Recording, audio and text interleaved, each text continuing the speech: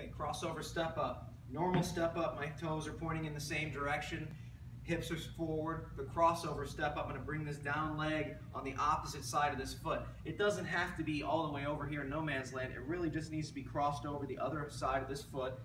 Turn the hips forward, get the ribs down. Now notice this knee position and foot position is not really gonna change as I come up in the crossover step up.